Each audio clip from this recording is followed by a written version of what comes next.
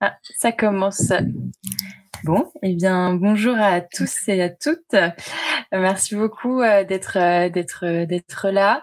C'est le premier webinaire de Talk, donc ou Talku selon la prononciation. Donc, je suis Manon, la fondatrice de Talku, et c'est notre premier webinaire avec Camille Bataillon, sexologue clinicienne, sur le sujet de la masturbation. avant de, me présenter un peu plus, je vais juste vous expliquer rapidement le format de la plateforme. donc, sur Livestorm, vous avez sur le côté de, de trois petits onglets normalement. Euh, le chat, les questions et le sondage. Euh, si vous voulez pour tester un peu et voir comment ça fonctionne, si ça vous dérange pas, vous pouvez nous dire d'où vous venez, d'où nous, vous nous écoutez euh, dans la partie chat.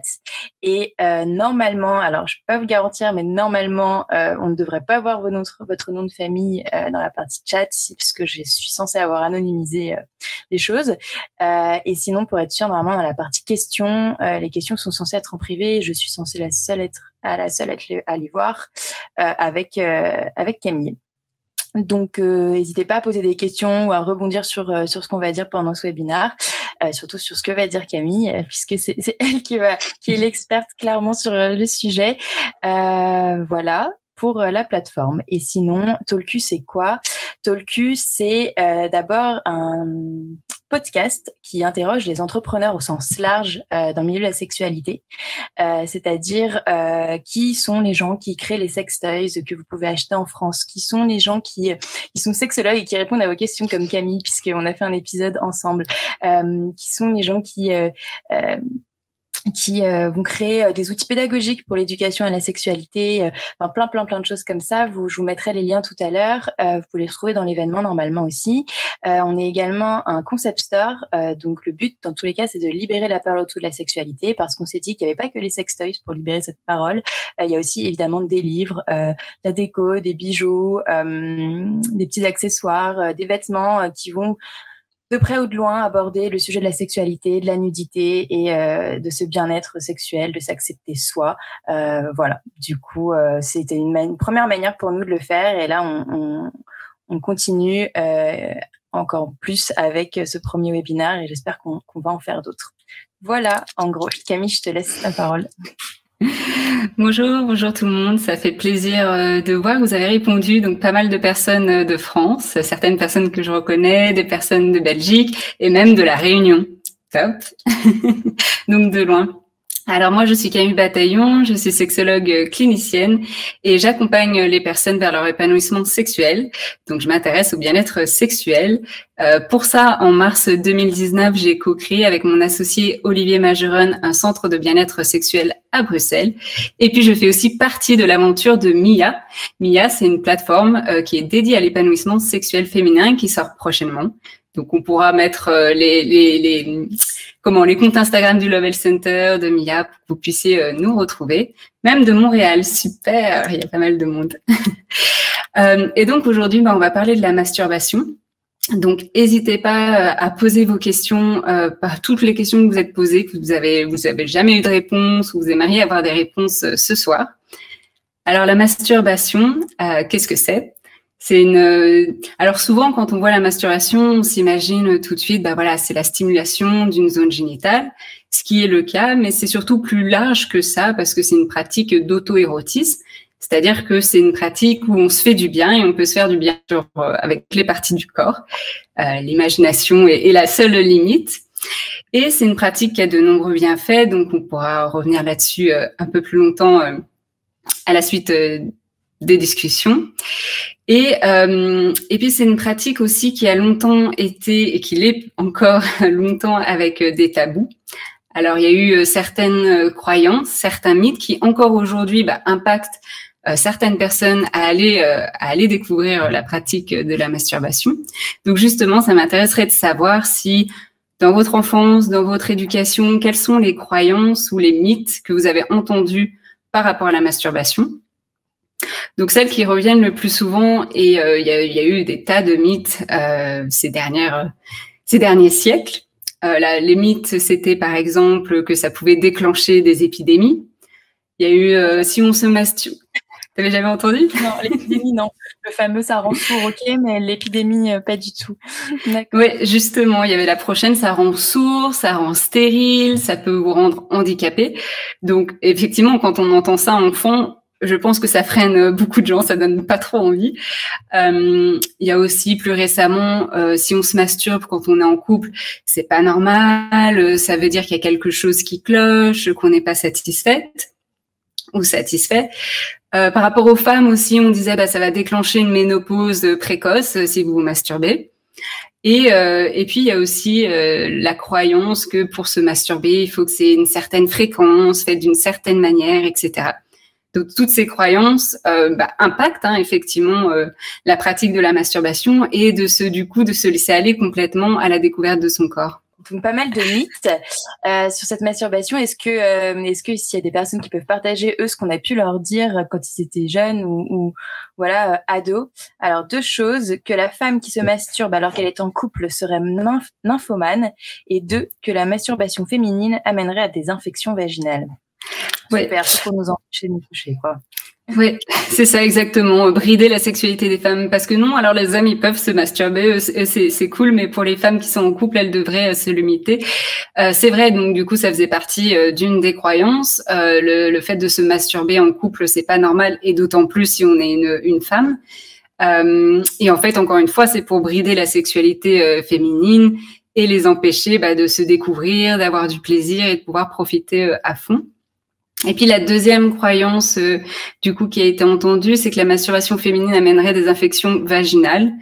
Alors ça peut, si justement euh, on se masturbe avec euh, ses doigts et si ses mains sont pas assez nettoyées, on peut évidemment apporter des germes si on fait une pénétration vaginale avec son doigt qui est sale ou des ongles mal coupés, des hommes qui vous touchent ou des femmes qui vous touchent avec des ongles mal nettoyés, ça peut venir apporter des infections, mais généralement quand on respecte quand on respecte les règles d'hygiène, il euh, n'y a pas, voilà, il y a pas d'affection. En ce moment, euh, on se lave pas mal les mains, mais euh, dans tous les cas, oui, il vaut mieux avoir les mains propres, ou alors si on utilise un objet ou voilà un sextoys ou quoi, que ce soit bien nettoyé avant, évidemment. Oui. Les jeunes peuvent s'inquiéter du fait qu'ils se masturbent car ils ne savent pas tout ce que c'est normal, ils se disent anormaux.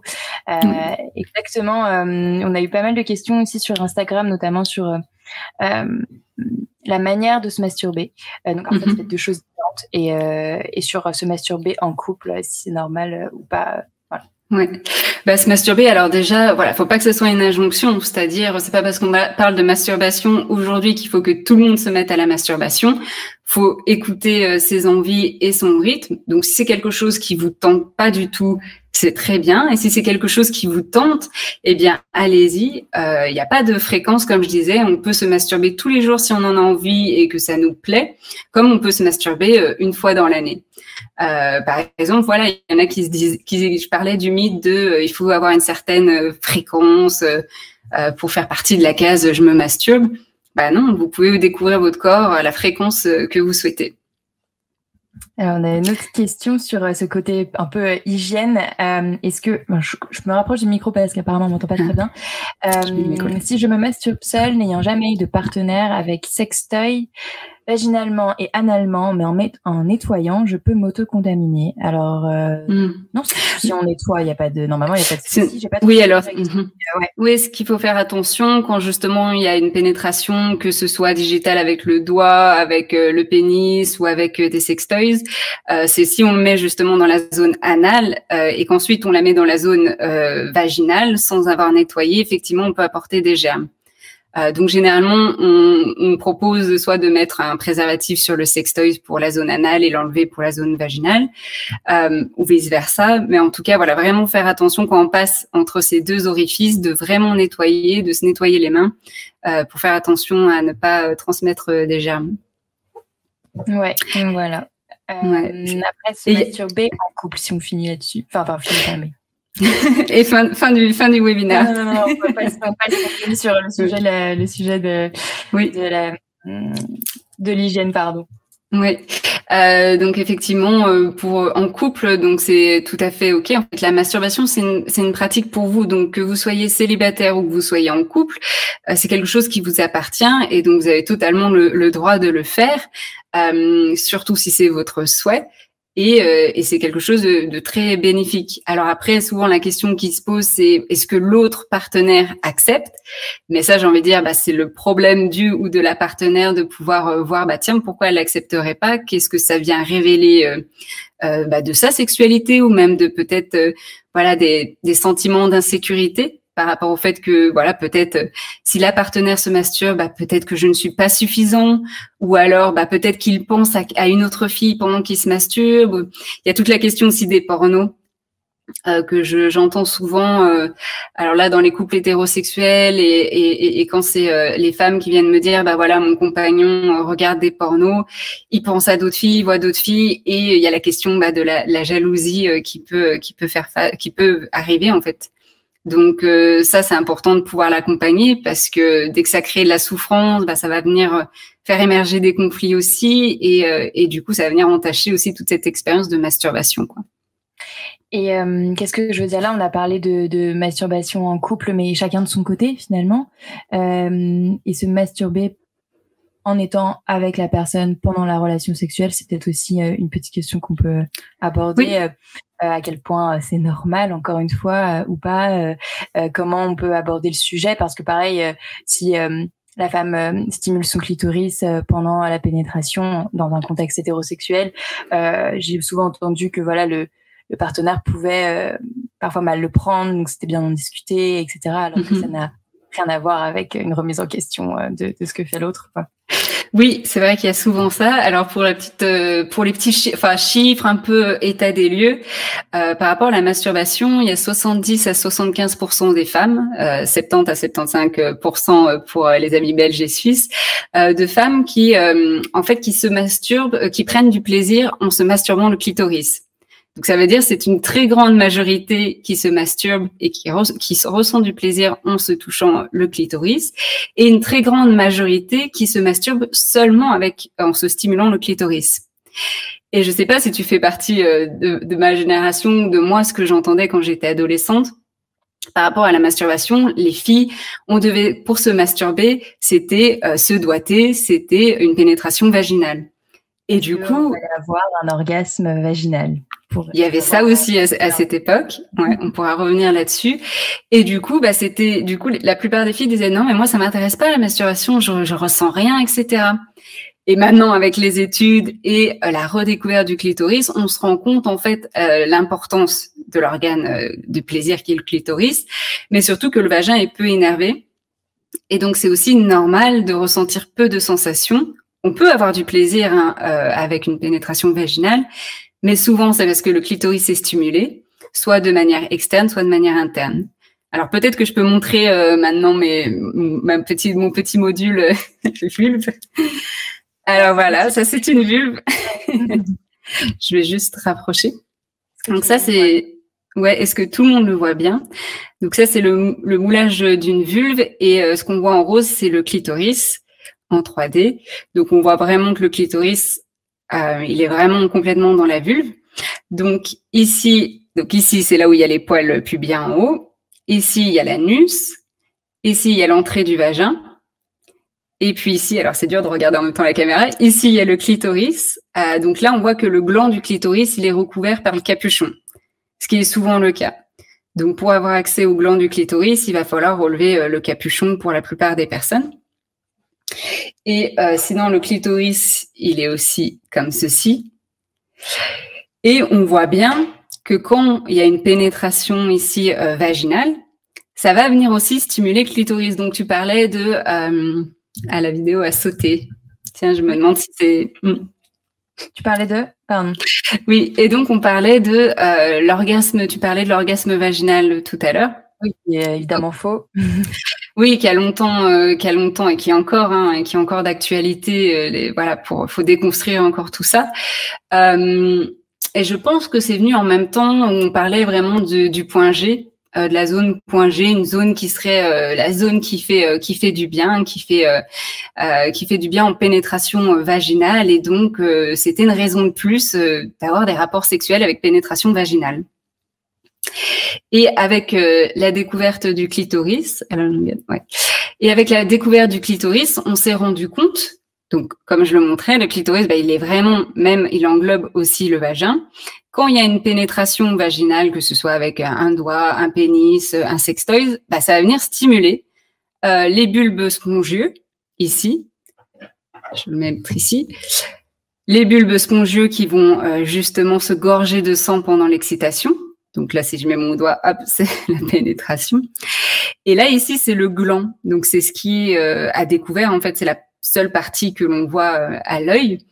Et c'est du coup qui est la plus sensible finalement, et c'est pour ça qu'on a quand même besoin de stimuler de manière externe pour pouvoir ressentir le plaisir interne en général. Alors on peut le ressentir, oui, effectivement. Donc le gland, donc c'est ce qu'on voit, c'est la partie le, plus sensible, quoi. Comme le gland du pénis, il a euh, plus de 8000 terminaisons nerveuses, donc le double de ce qu'il y a sur le gland du pénis. Euh, et donc quand on vient venir, quand on le stimule à l'externe, quoi, ça va venir évidemment, ça a tout un impact sur l'interne. Donc quand en fait il y a une pénétration vaginale, ça stimule quand même le clitoris. Mais si on veut y aller la franco et avoir aussi un double de plaisir, ben on peut ajouter euh, une stimulation sur le gland et, euh, et, ça va venir faire vibrer tout le clitoris. Donc cette stimulation sur le gland, elle peut se faire euh, manuellement, c'est-à-dire avec sa propre main ou la main du ou de la partenaire, ou même dans des positions où le corps, le corps de l'autre va venir frotter sur le gland ou alors si on est couché, un, drap, un coussin qui va venir justement stimuler le gland. Parce que c'est vrai que on revient un peu au, début des explications des questions, mais euh, se masturber finalement c'est pas forcément se toucher directement avec la main ou avec un objet ou ou, avec euh, la main de, la, de son, son, sa partenaire. Ça peut être aussi euh, par contact indirect, par des positions. le mot m'échappe, mais justement tu, tu dit, euh, tu sais, en, coucher avec un, un, un coussin ou euh, le humping. Ouais, le humping, exactement. On n'a pas de mot français, je sais pas, euh, mais ça se ça se fait beaucoup. Donc parce qu'il y a une question euh, qui, qui, est venue juste après sur euh, sur ça, j'ai été en couple depuis l'âge de 13 ans et j'ai découvert tout en couple avec mon copain de l'époque puis mes partenaires suivants. J'ai une sexualité très libérée et une bonne libido, mais est-ce normal que je ne me sois jamais masturbée seule?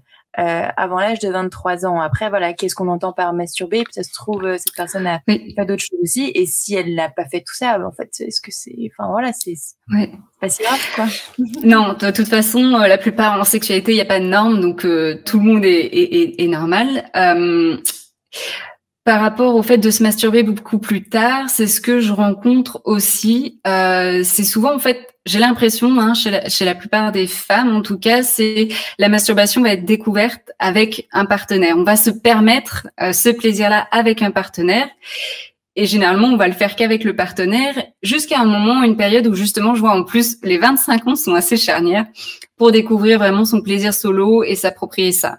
Alors je dis pas, chez certaines personnes ça peut être plus tôt et chez d'autres personnes ça peut être beaucoup plus tard, c'est aussi normal. Euh, mais vraiment cette découverte, elle peut se faire beaucoup plus tard quand on a envie de découvrir son plaisir pour soi à l'occasion d'une rupture, c'est-à-dire quand on se retrouve seul, ou parce que simplement on a fait ce cheminement-là, où on a entendu euh, parler du clitoris, où on a entendu parler de la masturbation, on se dit bah j'ai envie de découvrir mon corps et c'est vrai que la masturbation c'est aussi un moyen euh, de se connecter à son corps et de le découvrir. Mmh. Ok. Et, euh, et du coup, comment on le découvre finalement seul? Parce que c'est, c'est important de pouvoir le découvrir seul parfois et sans partenaire et d'avoir ce recul-là et cette, euh, cette, euh, cette conscience de soi en fait, sans, sans avoir besoin du regard de mhm. l'autre.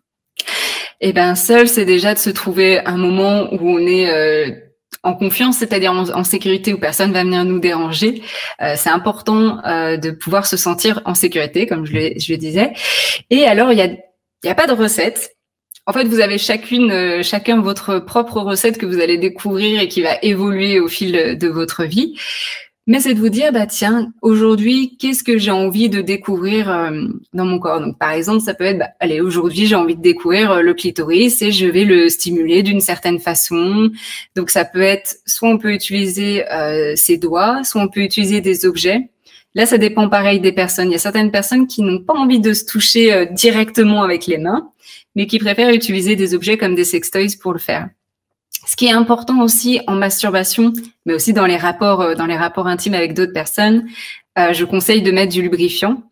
Euh, et du lubrifiant euh, un peu épais de type de l'huile de coco, par exemple, quand vous êtes seul en masturbation, parce que ça va venir rajouter une couche, une texture qui est agréable au toucher, qui apporte des sensations différentes que quand c'est avec sa salive ou sans, ou sans rien du tout, ou un lubrifiant à eau. Donc ça, que les lubrifiants peuvent vraiment changer. Enfin, il y a vraiment plein de textures différentes. Après, bien sûr, il faut faire attention à la composition, mais euh, du coup, il y en a qui sont vraiment pensés que pour cet usage euh, de masturbation solo, quoi, sans forcément de pénétration, justement. Ouais. Oui, justement aussi quand euh, quand je propose justement à mes clientes, à mes clients d'utiliser euh, de, de, se masturber avec du lubrifiant, ils me disent mais il y a un avant et un après quoi. Quand on utilise du lubrifiant, euh, enfin quand on se masturbe sans lubrifiant et quand on se masturbe avec du lubrifiant, c'est totalement différent hein, les sensations et ça je suis d'accord. Est-ce que c'est le même pour, pour, les pénis? Parce que bon c'est vrai qu'après on a posé on a oui, beaucoup parlé des femmes, bah, après c'est beaucoup de questions de femmes mais mais juste voilà sur ce sujet-là par exemple, est-ce que tu conseilles aussi aux hommes de, de essayer euh, euh, avec du lubrifiant euh, quand il se masturbent seul Une seule chose à retenir, le lubrifiant c'est la base pour tout le monde. Donc au moins ça c'est clair. Bah, c'est super clair. S'il y a d'autres questions par rapport à la découverte de la masturbation ou comment faire, n'hésitez pas. alors ensuite aussi, on peut utiliser des supports si on le souhaite. moi, je recommande de varier. Des fois d'essayer sans support, des fois d'utiliser des supports. Donc, qu'est-ce que j'entends par support? Ça peut être des supports d'audio érotique, ce qui fait, ce qui, enfin, c'est, c'est la nouvelle tendance euh, ces dernières années de, de montrer, euh, d'écouter, d'écouter des, des, histoires érotiques. Donc, c'est du porno auditif, si vous voulez. Ah, lesquels? C'est lesquels? Euh, On a pas mal. J'en ai toute une liste. Euh, il y a Vox, il y a Cox, euh, il y a Dispea. Oui, Vox, voilà. Il y a Vox, il y a Cox, il y a Dispea. Il y a Le Verrou Podcast. Il y a Colette se confesse. Ah, le Verrou, oui. C'est pas mhm. mm. Il y a Box, qui est aussi une plateforme collaborative où les personnes peuvent, donc toi par exemple, demain, Manon, tu peux être sur Box et tu as enregistré ta voix et des gens vont se masturber dessus. Il y a aussi, euh, je crois que ça s'appelle Onde sensuelle qui est nouveau. Euh, mais sinon, c'est vrai que le plus connu. Ah, et aussi, alors c'est peut-être moins. Ça sera plus de la fiction érotique que tu peux en érotique. Euh, moi, j'avais, c'est le premier que j'ai écouté, c'était euh, Control X. Euh, À l'origine, il faisait de la lecture de grands classiques de la littérature française, mais côté érotique. Donc, euh, vous allez redécouvrir vos classiques. ce sera plus sympa qu'au lycée, quoi. Et, et après, ils ont, ils font aussi leur propre leur propre euh, production et, écriture et euh, notamment euh, plus sexe la vie.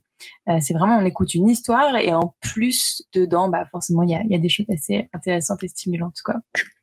Super, ouais, mais sur la liste des podcasts, ça j'ai fait un post, plusieurs posts là-dessus sur mon compte Instagram, donc soit je le repartagerai demain ce post-là pour que les personnes puissent retrouver. Par rapport au lubrifiant, je parlais de l'huile de coco, huile de coco ou beurre de karité aussi pour les lubrifiants si vous voulez du naturel. Hum, après, bah justement, euh, bon, c'est un peu moment pub, c'était pas le but, mais euh, mais sur Tolkien aussi, ouais, on en on en propose euh, et bah, notamment le plus naturel possible, alors qui soit pas qui est pas en mode coco, mais mhm. qu'on a c'est une nouvelle marque qui s'appelle MyLuby, c'est vraiment le lubrifiant naturel français et qui est vraiment top que ce soit seul ou ou ou à deux quoi. Ouais, c'est vrai qu'il y en a plein. Il y a MyLuby, il y a Fine aussi qui ont fait un lubrifiant, il y a euh, il y a IS aussi qui est plutôt naturel. Donc voilà. Alors je remets juste mon compte Insta pour les personnes qui voulaient le post. Et euh, on me demandait est-ce qu'il faut utiliser du lubrifiant avec un sextoy type womanizer? Donc oui. Euh, par contre, ça va pas être un lubrifiant huileux avec de l'huile de coco parce que ça, ça peut du coup euh, abîmer euh, le sextoy, mais plutôt à base d'eau. Donc là, ça peut être celui que tu as cité, euh, Manon, ça peut être MyLuby, Fine, ça peut être du gel aloe vera aussi, si vous voulez quelque chose de naturel. du moment où vous avez un sextoy euh, silicone, il faut pas mettre de, faut, faut mettre quelque chose de très naturel et à base d'eau, euh, pas à base, euh, surtout pas à base de silicone parce que silicone contre silicone. Enfin voilà, on pourrait faire un sujet mm -hmm. sextoys une autre fois, mais euh, mais voilà, c'est pas possible. Et euh, et pareil pour l'huile, l'huile, ça par contre le lubrifiant à base d'huile, c'est plus rare, mais ça peut être top pour pour tout ce qui est relation sous la douche par exemple ou au contact de l'eau. Voilà, parce que contrairement aux croyances, ah, Camille est disparue. Donc je disais juste que contrairement aux croyances, euh, l'eau n'est pas lubrifiante. Je vais juste réinviter Camille. Pas mal de réponses et de. Un bac. Sur le replay. Ah, c'est bon, tu es de retour. bon, peut-être que ça sautera de temps en temps, mais c'est comme ça, c'est comme la vie. Euh, il y a plein de choses inattendues qui arrivent. et du coup, lubrifiant à base d'huile, euh, ouais, sous la douche surtout, ou alors comme ça, c'est rien, mais, euh, mais, euh, mais ouais, sous la douche, c'est le plus conseillé. Oui. Ah oui, par rapport à l'huile de coco, donc c'est vrai que c'est pas mal de controverses. Euh, en fait, si on a une flore vaginale qui est peut-être déjà sujette euh, à des euh, mycoses, à des cystites ou à une, une, flore vaginale en fait déjà fragilisée, peut-être que oui, l'huile de coco peut favoriser ça. Mais en tout cas, c'est aussi un antibactérien, donc au contraire, ça peut aussi protéger. Donc à vous de tester. Euh, votre vulve vous le dira de toute façon. ouais, c'est vrai que l'huile de coco, c'est, euh, ça dépend tellement des, des, fleurs et des personnes que, que ouais, on peut que tester euh, et voir. Mm. Et donc les bienfaits de la masturbation, je ne sais pas si dans le chat, qu'est-ce que vous pouvez nous dire des bienfaits de la masturbation Comme ça, on, on peut en parler aussi.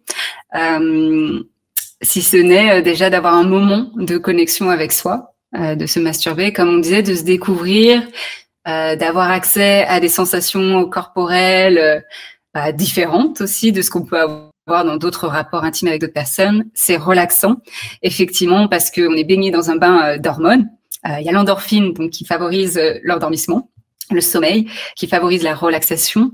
Il y a la sérotonine qui donne de la bonne humeur, qui est un antidépresseur.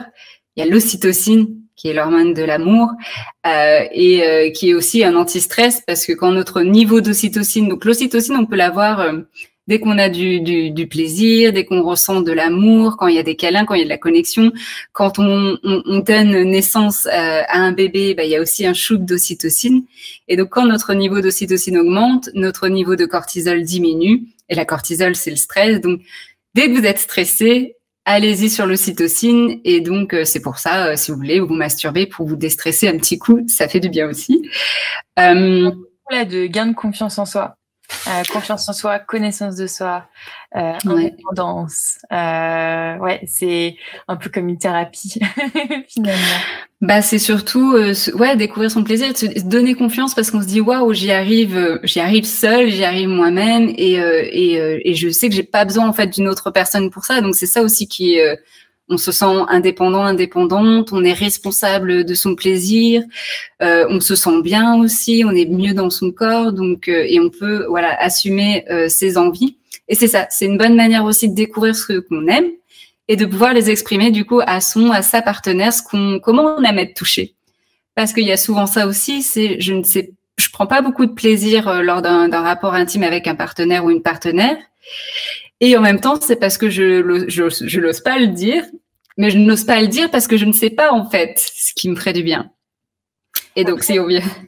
bon, c'est encore, ouais, parce qu'il y avait la question tout à l'heure qui était justement euh, comment expliquer à, à, mon, ma partenaire, enfin, du coup, là, je crois que c'était mon, euh, que, que je ne ressens pas de plaisir euh, juste euh, vaginalement par pénétration, et que, et que du coup, le, me toucher le clitoris est, important. Euh, mais donc, est-ce que c'était juste un manque de connaissances, un manque d'explication, comment aborder le sujet quoi? Ouais. Bah là, c'est dosé euh, parce que cette personne-là disait qu'elle elle sait euh, que le clitoris est important euh, pour elle, mais elle ose pas ou elle l'a pas dit à son ou à sa partenaire.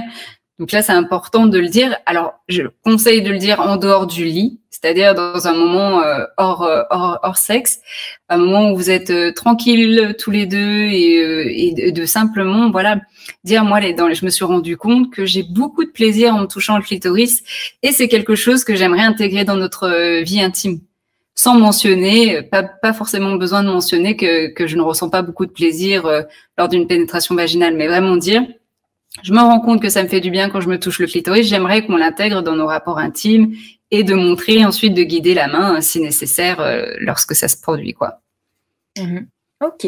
du coup, pour la suite des bienfaits, alors, euh, on nous a parlé aussi de antidouleur. Alors, il y a des personnes qui ne sont pas forcément d'accord pour. ah, c'est vrai. Oui. coup, moi, c'est vrai que j'ai découvert ça très récemment que ça pouvait être utile pour les douleurs de règles, bah, parce que c'était fait détente finalement et toutes les hormones que tu as citées, c'est ça Oui, alors pour l'antidouleur, c'est parce qu'il y a l'endorphine. alors pour que tout, pour qu'on soit baigné dans un dans, dans, dans un shoot hormonal, c'est une chose de se masturber, c'en est une autre de se masturber et d'avoir beaucoup de plaisir et d'être satisfait, satisfaite par rapport à ça.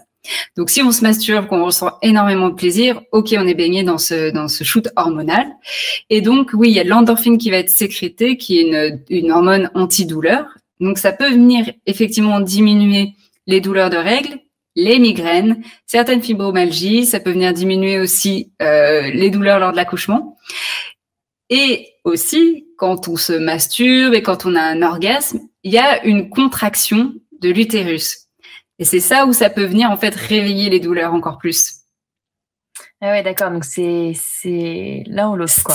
C'est ça dépend, ça dépend des personnes. Ça dépend des personnes, ça dépend des moments, ça dépend de l'intensité. Hmm. Ok. Donc, en tout cas, c'est à vous de voir. Et si ça vous fait du bien sur le moment, bah, allez-y, profitez-en. Et si vous avez des contractions utérines, bah, dites-vous, oui, voilà, c'est parce qu'il y a eu, il y a eu un petit, enfin, il y a eu, il y a eu un orgasme, il y a eu beaucoup de plaisir, et donc il y a des contractions de l'utérus qui se produisent. Alors, est-ce qu'on a fait du coup, à ton avis, le, le tour? Merci Freud, oui. Alors pourquoi Freud? C'est parce que c'est rapidement, hein, euh, j'ai toujours pas lu, hein, mais euh, euh, que c'est lui qui, qui, jugeait que voilà l'orgasme clitoridien était immature et que le seul qui comptait c'était l'orgasme vaginal pour être une vraie femme, il fallait, euh, il fallait, euh, il fallait l'orgasme, il fallait que, et pour être une vraie femme, il fallait prendre du plaisir par une pénétration vaginale, ce qui voulait dire qu'il fallait être avec un homme qui nous pénètre et donc un pénis qui est beaucoup plus fort, etc. Et le clitoris, euh, et si c'était du plaisir que par le clitoris, et eh ben on était une petite fille, on n'avait pas grandi, on n'avait pas accédé à l'état de femme. Donc oui, euh, Freud a fait, a fait pas mal de mal à la sexualité euh, des femmes. Sexualité adolescente que de que de ouais, que de toucher juste son clitoris. Quoi. Mm. oui. Et puis euh, ah bah voilà, je me coucherai moins bête. C'est ça. Alors qu'aujourd'hui, donc avec la science, c'est la redécouverte du clitoris, parce qu'en fait le clitoris, il a été découvert dans, au XVIe siècle, mais il a été oublié parce que il servait pas à la reproduction, donc euh, quelle importance de le mentionner.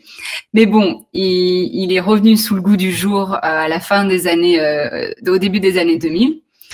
Et, et on s'est rendu compte, bah oui, effectivement, qu'il était beaucoup plus, enfin voilà, qu'il était comme ça, quoi, qui fait entre 16 et 12 cm, je crois, un truc comme ça. Enfin bref, et et qu'il apporte beaucoup de plaisir. En fait, il est dédié qu'à ça ok, sert peut-être pas à la reproduction, mais sert au plaisir des femmes. Et ça, aujourd'hui, maintenant, c'est valorisé et c'est important. C'est quand même amusant de se rendre compte qu'en fait, c'est à partir du moment où les scientifiques, etc., de l'époque se sont rendus compte qu'ils n'avaient aucun impact sur, euh, sur la reproduction, sur la conception d'un enfant, parce qu'il y a eu une croyance au Moyen Âge comme quoi euh, il fallait avoir un orgasme et stimuler le clitoris pour euh, tomber enceinte. Et ça, c'était la bonne période pour les femmes, du coup, parce que du coup, on les stimulait le clitoris à fond, à fond, à fond. euh, et, euh, et donc, du coup, à partir du moment où on s'est rendu compte que ça n'avait pas spécialement plus d'impact ou d'effet, bah, du coup, on l'a oublié et on l'a même complètement diabolisé, quoi. Ouais, c'est dingue. C'est dingue. Mais donc, du coup, voilà, donc le clitoris, bah, c'est un allié. Alors après, alors c'est un allié tout, tout du long de notre vie parce que aussi ce qui est important de mentionner, parce qu'il y a peut-être des personnes ménopausées aussi euh, dans, dans, dans, le chat, euh, notre corps vieillit. Hein, on le sait tous, euh, notre corps vieillit, mais aussi nos organes génitaux. Et ça, on a tendance à l'oublier. Et donc, il y a toute une série euh, hormonale, physiologique, de changements qui se passent. Cependant, le clitoris, lui, il reste le même et, il reste aussi sensible, il apporte toujours du plaisir. Donc ça, c'est aussi important de le mentionner, que le clitoris, il est là, quoi, à, nos côtés euh, tout le temps, quoi. Mm. Je voulais le mentionner. à la fin de ta phrase, il est là à, côté euh, tout le long de la ah. vie et il, il reste tout à fait fonctionnel, en fait. C'est ça, donc c'est pour ça que c'était important, important de le dire. Ouais. Euh, et alors, je. Ouais. Euh, bah écoute, euh, ouais, non, je pense qu'on a fait un bon petit tour des c'est bien fait et euh, des ouais. usages tout au long de sa vie. Mais euh, est-ce que je sais que tu voulais mentionner quelques chiffres peut-être pour synthétiser un peu et montrer à quel point à quel point il est important de, de, de, de, se masturber en général, parce que là on a fait un petit focus masturbation, c'est vrai, féminine, mais voilà, si tu as des chiffres à nous partager pour alors les chiffres, je les ai donnés déjà. Ah oui, non, les seuls chiffres que j'avais, c'était 70 à 75% euh, des femmes se masturbent, euh, prennent du plaisir en se masturbant le clitoris. Donc, mm. d'où l'importance de remettre le clitoris sur le devant de la scène, parce que du coup, on peut supposer que la masturbation a été mise aux oubliettes euh, par les par les par les femmes, parce que on se disait, bah pour une vraie une vraie masturbation, il faut que voilà, faut qu'on doite, il faut qu'il y ait une pénétration vaginale Or, maintenant qu'on sait que le clitoris est là que pour le plaisir et qu'il est sensible, euh, bah, c'est important de pouvoir le stimuler si on ressent l'envie. Alors, une autre chose aussi, c'est certaines personnes disent euh, je peux pas me stimuler le clitoris parce qu'il est trop trop sensible. Alors oui, effectivement, le clitoris est sensible et il est d'autant plus sensible quand c'est les premières fois qu'on le touche c'est un peu comme euh, quand on va à la salle de sport et qu'on fait un nouvel exercice et qu'on va venir euh, travailler un nouveau muscle. Bah, le lendemain, on a des courbatures, c'est un peu douloureux, c'est pas agréable, et ensuite euh, ça passe quoi. Plus on s'entraîne, plus ça passe. Et là, c'est un petit peu la même chose en fait. On va venir réveiller des terminaisons nerveuses qui n'ont pas eu l'habitude d'être touchées, donc c'est douloureux. Il y a des fois une sensation de comme des petits coups de couteau, enfin voilà, des petites, des petites, des petites pointes d'électricité. C'est normal, c'est pas agréable, mais c'est normal c'est de venir vraiment euh, caresser euh, d'une manière douce, mais doucement et régulièrement pour venir. Alors c'est pas désensibiliser, mais c'est habituer cette zone à traduire la sensation par une sensation de plaisir plutôt qu'une sensation de douleur.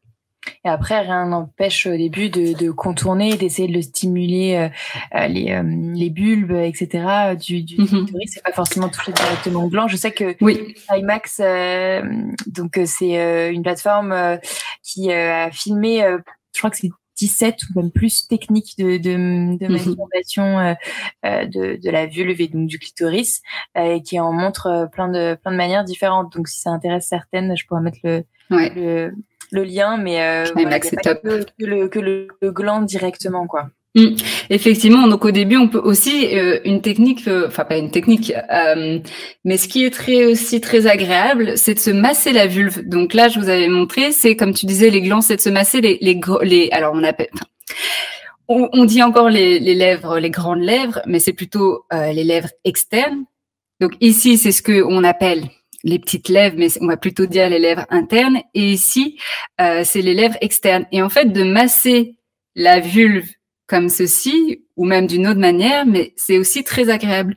Et donc, comme tu disais, ça peut être au début, si on est sensible du clitoris, ça peut être de venir masser ici avant de venir masser le gland pour réveiller cette zone doucement. Voilà par rapport au clitoris. Ouais, pour l'orgasme très rapide, finalement, ce que tu expliques. Euh, alors, bonjour, je ne ressens aucun plaisir quand je me caresse et je me masturbe seule, alors, quand c'est mon par alors que quand c'est mon partenaire qui le fait, je prends beaucoup de plaisir. Vous avez des conseils pour m'aider? Ah pardon, tu peux répéter, j'étais en train de lire euh, le chat. ah pardon, excuse-moi, c'est la question. Euh, bah là, c'est l'inverse. C'est vrai que c'est plus rare, euh, dans le sens où c'est une personne qui ne ressent pas spécialement de plaisir quand elle se masturbe seule. Mais par contre, elle en a avec son partenaire. Mmh. Bah, c'est aussi quelque chose, euh, voilà, ça, ça, dépend en fait. Ça peut venir de plusieurs choses. Euh, déjà parce que bah, de se masturber avec un partenaire, des fois ça peut être agréable parce qu'il y a aussi euh, l'ambiance, euh, les câlins et de se dire, et des fois c'est de se dire, bah lui c'est mieux que moi. Ça peut être aussi si on a moins de plaisir quand on est seul. ça peut être aussi tout ce qui est les croyances. Est-ce qu'on se sent complètement à l'aise de le faire? De se masturber seul euh, soi? Est-ce qu'on est euh, dans un cadre euh, sécurisant pour le faire? Est-ce qu'on n'a pas des pensées qui viennent aussi euh, dans notre tête quand on est toute seule? Est-ce qu'on arrive à lâcher prise? Est-ce que c'est peut-être plus facile de lâcher prise avec un partenaire qu'avec soi? Et ça, c'est ce qu'on rencontre aussi. Donc voilà, peut-être se questionner là-dessus et, et, voir ce qui se passe.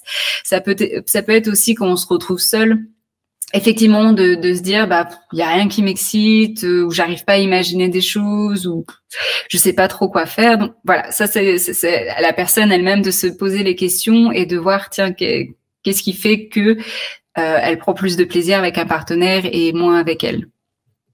Ok d'accord Bon, en fait, il nous reste déjà que 5 minutes. What?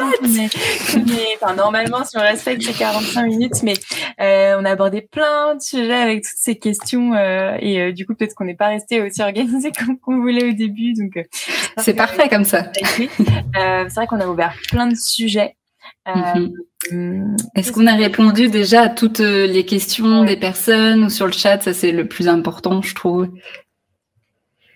Est-ce que la masturbation, ah, est-ce que la masturbation consiste à la masturbation du sexe et aussi de l'anus? Ouais, ça je voulais le mentionner aussi. Bah oui, effectivement. Donc, comme je disais, hein, on pense souvent à la zone génitale, mais quand on pense à la zone génitale, euh, si on parle des personnes avec vulve, on va se dire, euh, bah c'est souvent soit le vagin ou le clitoris ou les deux.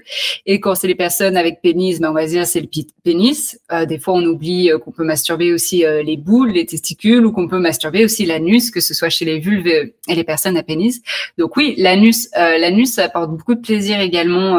alors ça dépend aussi pareil, hein, les personnes si elles sont à l'aise, si elles ont envie de pratiquer. Euh, mais il y a, euh, c'est une zone qui est aussi euh, très très agréable et et vous pouvez soit la stimuler aussi. Alors j'ai pas de, de modèle d'anus, mais soit la stimuler sans forcément aussi la pénétrer, mais ça peut être juste de mettre des doigts à l'entrée et vraiment venir stimuler comme ça. Ça peut être aussi en utilisant un plug anal. Euh, zut, j'ai pas amené mon plug anal, mais euh, comment on pourrait expliquer disposer, euh, disposer alors que j'en ai, mais pour tout c'est pareil. En gros, bah du coup, un plug anal, ça va être. Euh, alors, il faut pas essayer de faire ça avec d'autres choses parce que euh, pour euh, l'anus, alors comment comment on dit ça déjà bah, Il est pas fermé, c'est pas. Y a... Voilà, il faut il faut utiliser un objet fait pour. vous pouvez pas utiliser votre vibro vaginal pour l'anus. Enfin, c'est très déconseillé, si vous maîtrisez bien la chose. Euh, il faut qu'il y ait une sorte de de poignée, je sais pas comment appeler ça, pour euh, éviter euh, que, que, que l'objet soit aspiré par l'anus et qu'il reste là en place tranquillement et, et qu'il fasse son travail de stimulation ou de, de compression pour pour bah, pour continuer à, à, vous exciter. donc ouais, ça c'est des choses que je vous invite à aller regarder sur sur Talk notamment. Et toujours sur l'anus, est-ce que ah oui par rapport aussi oui justement puisque l'anus bah en fait c'est pas comme le vagin. Après, il n'y a, pas une fermeture, c'est-à-dire ça remonte jusqu'aux intestins. Et donc, si euh, on se sert d'une courgette ou d'un sextoys et que c'est pas un plug anal, bah, ça peut remonter, aller dans l'intestin. Et c'est justement comme ça qu'on arrive aux urgences. Alors, c'est extrêmement courant, ils ont l'habitude, mais voilà, vous préférez, je pense, éviter passer votre soirée aux urgences pour une courgette euh, dans le cul.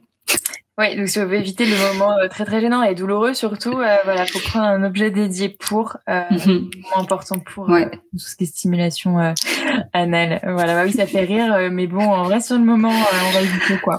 Mm. ouais, et puis le plug anal, on peut l'utiliser aussi pendant les rapports. on peut l'utiliser en masturbation, on peut l'utiliser aussi pendant les rapports intimes avec d'autres personnes, quoi. Si on fait une pénétration vaginale ou une stimulation du clitoris, on peut très bien avoir son plug anal dans les fesses.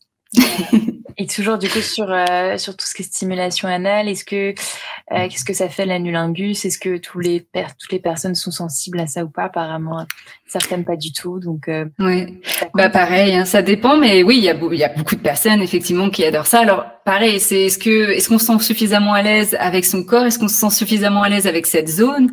Parce que des fois on peut se dire bah c'est sale ou euh, je sais pas j'ai des poils autour de l'anus et je me sens pas à l'aise euh, j'ai peur que ça sente le caca et donc on, on, est déjà un petit peu bloqué on va dire par rapport à ça. Donc effectivement ça n'aide pas à, à, au lâcher prise et à avoir euh, des sensations plaisantes. Par contre si on dépasse tout ça qu'on est à l'aise qu'on est avec un une des partenaires ou qui, qui adore ça aussi bah effectivement il peut y avoir beaucoup de plaisir euh, beaucoup de plaisir. Ouais mm. c'est euh, Est-ce qu'on a répondu à toutes les questions en même temps. Ouais, masturbation, je regarde. Oui, bah ouais, la, langue du bah, ça, ouais, ça dépend vraiment des personnes par rapport euh, à, l'anulingus, vraiment. Bah, Et être propre. Ils ne prennent pas le cunilingus, euh, pourquoi pas Enfin, je veux dire, mm-hmm. c'est pas sale en fait. Comme la fellation aussi. Enfin voilà, c'est chacun son le rapport à son corps, à la sexualité, ce qu'on a envie de faire. Il y a des moments aussi ça change dans la vie, quoi. Aussi, il y a des moments on a envie de faire une certaine pratique et puis ensuite, euh, ensuite on change. Donc euh, donc voilà, c'est de s'écouter, quoi. Vous me faites rire dans le chat. ouais, exactement. Euh, je pense qu'on peut. Qu'est-ce qu'on fait Posez vos dernières questions, s'il y a des dernières questions. Mhm. En attendant, je vais faire euh, l'ouverture et ça, ça peut être dans un prochain, un prochain webinaire. Euh, donc, on parlait de la pratique de la masturbation. Euh, on n'a pas forcément parlé de la pleine conscience, mais euh, on a évoqué quelques thèmes qui d'être vraiment en fait connecté à son corps, de ralentir pour sentir les sensations, d'être vraiment connecté à ces sensations. Et donc, je voulais parler en ouverture d'une d'une pratique de pleine conscience qui s'appelle la méditation orgasmique. Donc, je ne sais pas s'il y a des personnes dans le chat qui ont déjà entendu parler de ça. La méditation orgasmique, donc c'est une pratique de pleine conscience euh, qui se pratique à deux pendant 15 minutes avec une stimulation du clitoris. Donc, ça peut être avec euh, deux personnes qui ont une vulve ou deux, ou deux personnes, dont une avec une vulve et une autre personne avec un pénis. Et donc, oui, il y a certaines personnes qui connaissent. Et, euh, et donc, euh, cette, donc pour les personnes qui veulent pratiquer la masturbation, euh, la masturbation, la méditation orgasmique, il faut être euh, formé par des coachs certifiés parce qu'il y a toute une philosophie derrière à comprendre. Il y a différentes étapes pour faire cette pratique qui est assez structurée pour permettre justement le lâcher prise et être vraiment dans l'expérience du moment présent. Et, euh, et c'est des étapes aussi qui permettent une certaine alors je sais pas si ça se dit réplicabilité, c'est-à-dire que peu importe où on est dans le monde, on peut pratiquer euh, la méditation orgasmique parce que tout le monde est formé de la même manière. D'accord. Et dans les cinq bénéfices, sans rentrer forcément euh, dans tous les détails de cette pratique, parce que j'en ai fait un mémoire euh, là-dessus, un mémoire universitaire, ce que je me suis rendu compte, c'est que ça euh, permet euh, de parler de désir déjà. Dans, dans donc quand les, les couples l'utilisent euh, dans leur relation, ça permet de parler de désir. Ça permet une connexion aussi avec cette pratique parce que on dédicace 15 minutes de son temps à partager une expérience avec l'autre, donc de la connexion, euh, du lâcher prise et puis de la, de, la, communication en fait, de pouvoir exprimer ses désirs comme ça à l'autre, de pouvoir vivre une expérience et d'être vraiment dans le moment présent. Et donc non, la méditation orgasmique ne peut pas se faire seule. C'est vrai que le mot Sinon, bah, c'est en fait, c'est on imagine une méditation donc seule et enfin si la méditation ça peut se faire en groupe, mais que c'est quelque chose qui est dans notre tête en fait et, finalement c'est forcément euh, à deux. Oui, euh, c'est ça. C'est une méditation. Donc généralement, on a l'habitude, la méditation, on peut le pratiquer seul ou dans un groupe, mais euh, généralement, on n'est pas vraiment en connexion avec d'autres personnes. Là, la méditation orgasmique, c'est précisément une euh, pratique de pleine conscience avec connexion avec une autre personne. Donc ça se pratique à deux. Euh, et les gens, alors ça peut se pratiquer en couple, mais ça peut se pratiquer avec deux personnes qui ne sont pas en couple aussi. Hein. Ça, c'est important. Il faut simplement être, être, être formé par rapport à ça. Donc il y a beaucoup de personnes qui le pratiquent euh, avec une autre personne sans être en relation et, ça se fait très bien, quoi. Et donc du coup, par contre, et c'est ça, enfin l'importance de cette ouverture, c'est vraiment de bien faire la différence du coup entre ces appellations. Ça n'empêche pas qu'il y a des pratiques de pleine conscience qui se font du coup seules et qu'on peut faire une masturbation de pleine conscience seule. Oui, exactement.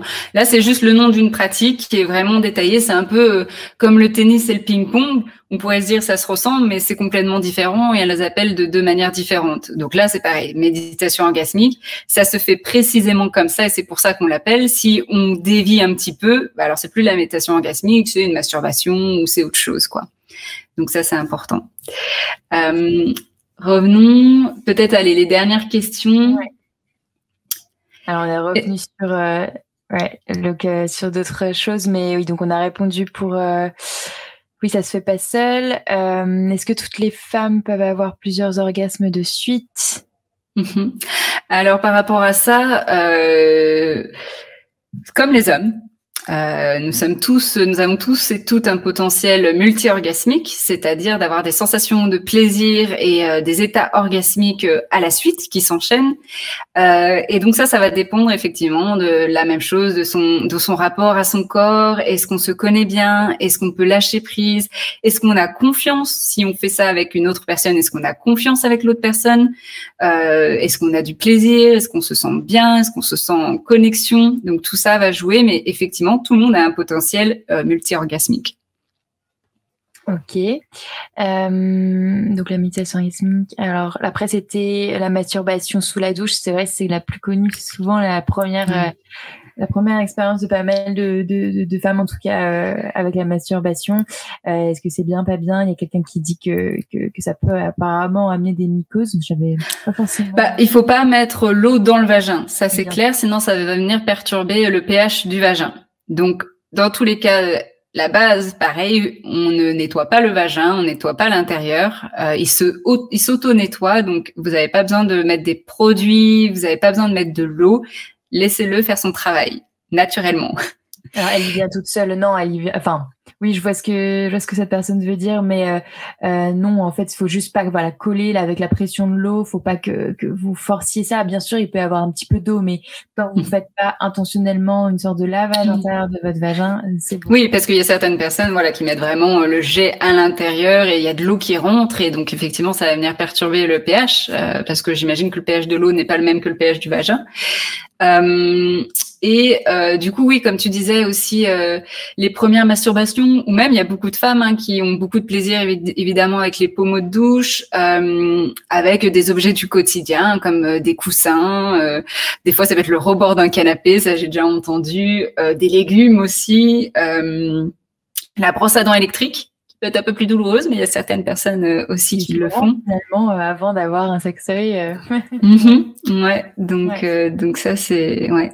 Et ralentir, respirer, prendre son temps, se goûter. oui, et se goûter aussi. Ça, ça aussi c'est le rapport au, à ces sensations, au goût. Alors, se goûter, je sais pas si cette personne voulait dire ce mais moi tout de suite j'ai pensé bah goûter assez fluide aussi, goûter à tiens quel goût j'ai euh, et ce goût aussi effectivement change selon le cycle, les périodes de, vie, euh, mais aussi euh, ouais pourquoi pas savoir quel est notre goût quoi. Mm. Ok, bah, ça fait tellement d'ouverture sur plein de sujets encore, euh, mais je pense qu'on a déjà un peu déblayé quand même euh, mm-hmm. pourquoi c'était important et c'était normal, et, mais que c'était pas non plus une injonction. Euh, mm-hmm. Donc, euh, pour faire vraiment très très gros, hein, parce qu'on a abordé plein d'autres plein d'autres sujets sur autour de la masturbation et, et, euh, et on a, j'espère qu'on a répondu à la plupart de vos questions. N'hésitez pas à à nous contacter euh, par sur Instagram ou par email. je vais vous envoyer le replay d'ici quelques jours, j'espère. Mhm. mais je peux pas vous garantir. avec pas mal de références, je pense. En plus, Camille, en avait préparé aussi pas mal sur bah, voilà des idées pour changer de, de, style de masturbation. Si jamais vous avez toujours la même, c'est quelque chose qu'on n'a pas abordé, qu'on aurait pu, ou, ou voilà pour vous montrer aussi. Il y avait tellement de choses à aborder encore. donc, euh, donc, voilà, c'est le premier webinaire. J'ai vu tout à l'heure qu'on me demandait quand est-ce que serait le prochain. Euh, aucune idée, le plus vite possible. Je vais faire un gros débrief de ce qu'on a fait aujourd'hui. Et si vous avez des idées de sujets de webinaire, n'hésitez pas du tout, euh, mhm. parce que bah, parce que ça m'intéresse et qu'il faut que ça vous intéresse pour en faire un, tout simplement. Mhm. Ah bah les tabous, yes. Euh, n'hésitez pas aussi, tu mettras dans l'email euh, des moyens de nous contacter. Euh, si je vois qu'il y a encore des questions, mais du coup voilà, on, va clôturer là. Mais n'hésitez pas à me les poser en DM, en commentaire ou en message privé via mes réseaux. Comme ça, je, je répondrai à vos questions perso. Ok, avec ouais la masturbation en binôme, ça peut être un prochain. Je sais, ça c'est beaucoup, ça revient beaucoup, ouais. Mm. Eh ben, merci beaucoup Camille encore une fois. et euh, bah, merci. À très bientôt. Oui, merci, euh, merci à tout le monde et on espère que ça vous a plu. N'hésitez pas à nous faire un feedback euh, sur ce que vous auriez aimé entendre, ce que vous aimeriez savoir les prochaines fois, ce que vous avez appris. voilà, n'hésitez pas. merci à tout le monde. Merci à tous.